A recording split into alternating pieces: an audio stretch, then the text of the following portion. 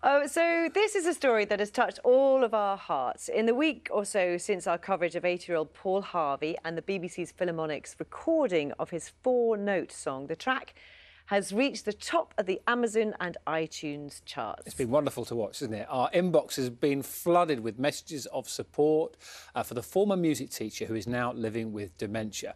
Well, now, Breakfast Graham Satchell has been to catch up with one viewer who has a very special surprise for Paul. Have a look.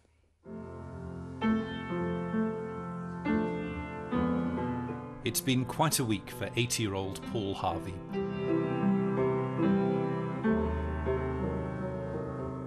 His improvised tune Four Notes has been top of various download charts and touched people around the world.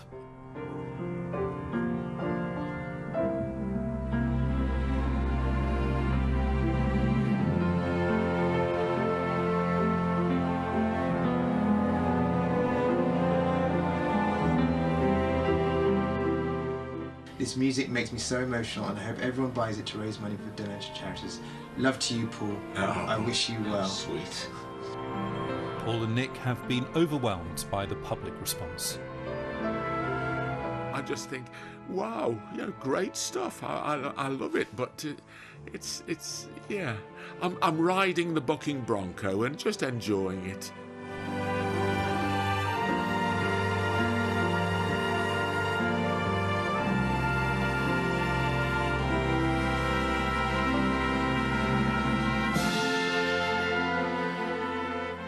Been incredible. Um, I've been so overwhelmed by it. It's, it's, it's been like a, a, a tsunami of, of love for Dad.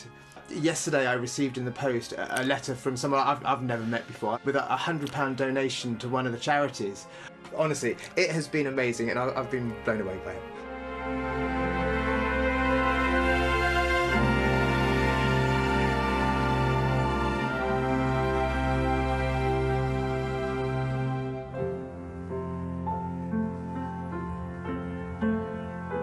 Wife Mary and I were lying in bed watching BBC Breakfast, and um, all the doom and gloom that comes from the news these days. And um, this piece came on, and it was like it was like something so special. Sir Tom Hunter, just one viewer deeply moved by Paul's story. Sir Tom is an entrepreneur who set up his first business selling trainers from the back of a van with a £5,000 loan from his dad. So my dad was and is my hero. It really resonated with myself because I lost both my mum and my dad to um, Alzheimer's. To Tom's other great influence, the philanthropist Andrew Carnegie.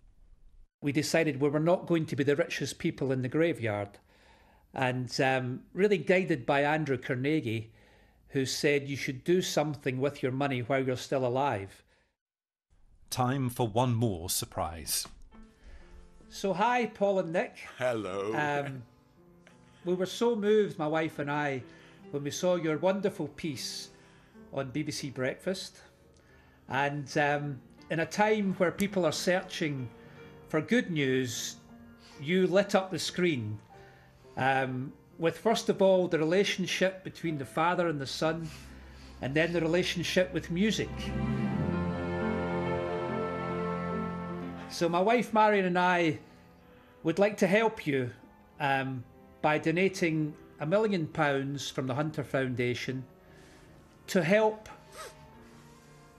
put a light into trying to release people from Alzheimer's. We really believe music is a key. We really believe you're onto something, and we really want to help. wow. So, in a time we're all searching, in this confusing time, some things never change. And the Wow. things that never change are a father's love for his son and a son's love for his father. Thank you. So please take good care. I will. Thank you so much. Wow. I don't know what to say. Thank you. Amazing. What a team, eh, Dad? you and me. Take on the world. That is fantastic. It really is. Yes. Oh dear. I didn't think I could be moved more, more, much more now, but I can. Should we split that between the two charities? No. Oh, yes, yes, yes. I thought you were going to say split it between you and me. Can you imagine? oh, you'll split it between the two charities. That is fantastic. Yeah.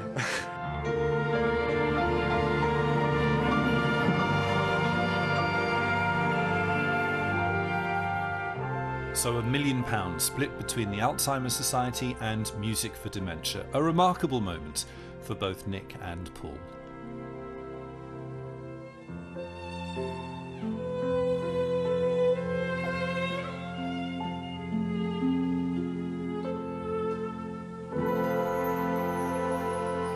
And for all this to happen, and I'm in my flipping 80s, that's pretty good, I think that is. you know, I'm happy with that. You know, I- Just, just think what you'll have achieved. You'll, you just think what you'll achieve in your nineties. oh God help us.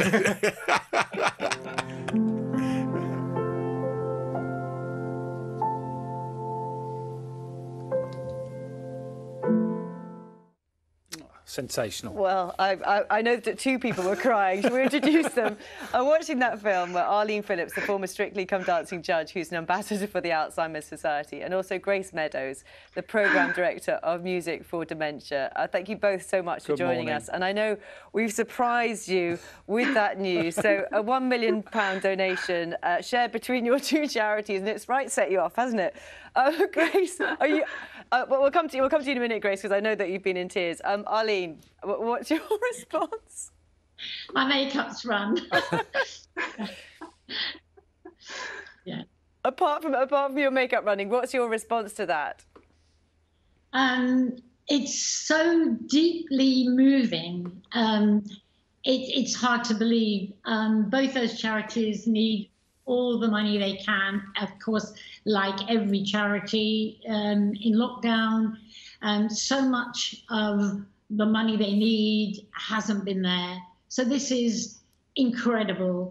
But also this music, this this music that uh, swoops and soars right into your heart and soul is so very, very precious because everyone at the moment, and again, we're going into lockdown, um, many, many people who have dementia, Alzheimer's can't be with their families as much as they need to be. And then you hear this music, and everything you hold inside, you stay kind of tight, and I'll get on with it. And it, it's that, that spirit is whatever happens, I, I have to be okay. That music hits you, and you release all the tears that are locked inside. And in many ways, it's probably for the good. It's probably to say it's okay that we don't all feel our best. And it's okay to want people and feel so much for families that have someone with dementia to say, I want to need to be with them. My heart is crying for contact. And that's understandable. And this music kind of says it all. Um, let's go to Grace Meadows, uh, Music for Dementia. So half of that million pounds goes to your charity. And I, I mean, my heart goes out to you because we, we surprised you with that. And Dan and I were watching your reaction, and you were uh, you're kind of a bit overwhelmed, aren't you? Uh, it's been extraordinary and um, listening to, to paul and nick in that video and the roller coaster of the week i can't believe what they've been through. And then for this to be one of the many results that has come about because of his beautiful naturally gifted musicality and their love for each other is just the most extraordinary thing.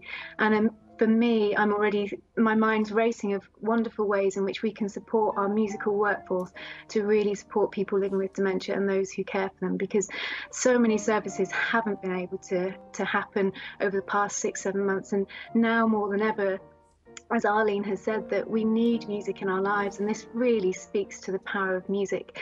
I, I couldn't agree more with everything that Arlene so eloquently and beautifully said. But for me, this is all about relationships. Music is people, people are all about relationships. So this is just extraordinary, and I'm so in, I'm flabbergasted, and we're so at Music for Dementia so incredibly grateful to Tom and his generosity. I was going to ask you about that, Grace, because you know that's that's one viewer who's in a really privileged position, and as he said, like so many of us, have been so touched by what we've seen from Paul and from Nick, and the reaction of many people getting that song to number one. And now he's able to, because of what he's been through himself, donate that one million pounds split between your two charities, which will make such a huge difference, Grace. Oh, a huge difference. We know that so many organisations are concerned about having to, to close or, or, no longer offer their services. And actually, these services are really vital. And we know that music is so vital. Paul's told this incredible story. In fact, Nick and I were talking in the week about how, you know, we didn't realise how stratospheric this would go. Um, but it, I, I, think what it also speaks to is that music touches all of us. As Arlene was saying, you, you, we don't need to be as musically gifted as as Paul, but um, we can all feel the impact of it. And there are lots of people out there who help you to do that. You know, the music therapists, the music practitioners, the wonderful performers and entertainers, and we need to have them back in our care settings so that everyone can feel the impact of music. Um, and Arlene, you're ambassador for the Alzheimer's Society. I mean, this kind of thing also raises the profile, doesn't it, in, in many ways, which I presume is helpful. It's enormously helpful. They have a group singing for the brain, which many people might have seen on television, and they have their Christmas Carol concert um, in December on the 17th, which is a fundraiser that everyone is invited to watch. And it's about music, it's about the help that they give to people with dementia.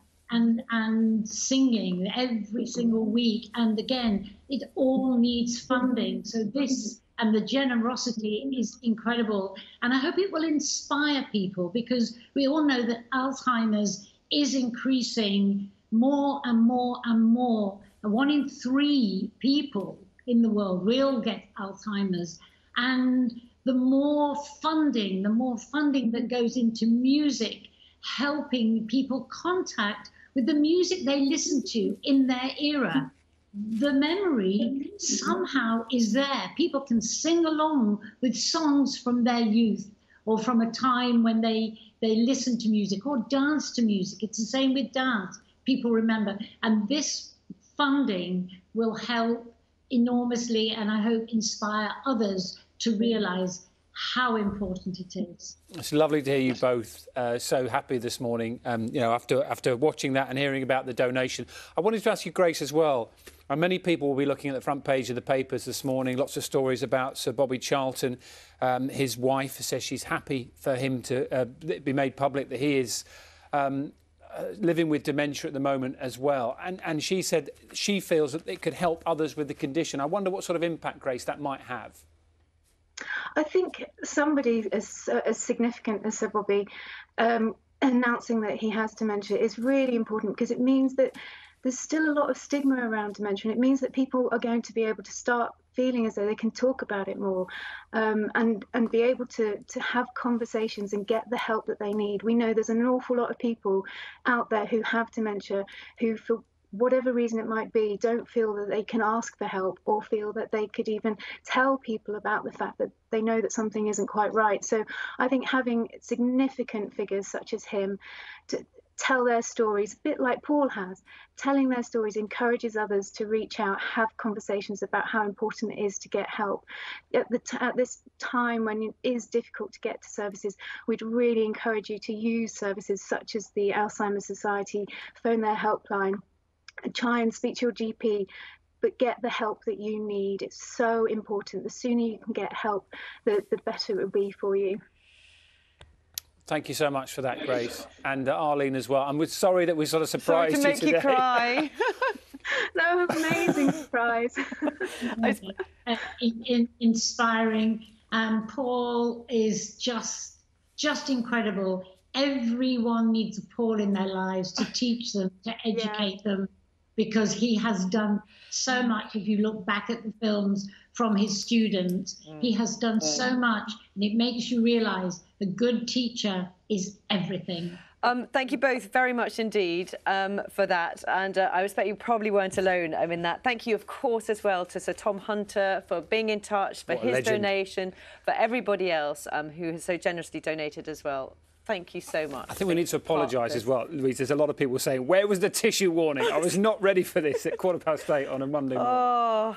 We promised you a lift, and you know uh, the, the story of Paul and Nick, and the, the way that it's just sort of mushroomed um, out from initially coming on this programme, and then the wonderful work at the BBC Philharmonic as well. I don't know about you, Louise. I love the way that Nick looks at his dad when Paul is talking. It, I, I, I can't not watch it without just being in floods of tears. It's amazing. It's so Oh. beautiful. It's absolutely lovely.